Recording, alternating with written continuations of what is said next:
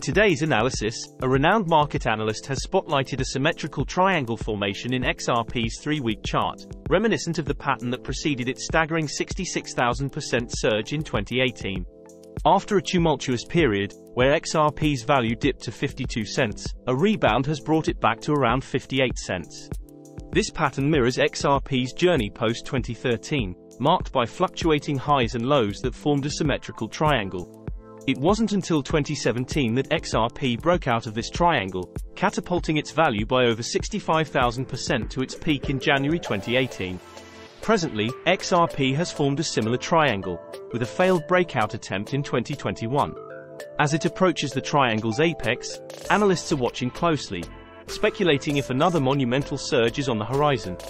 However, given the current market conditions, the extent of any potential rally is uncertain.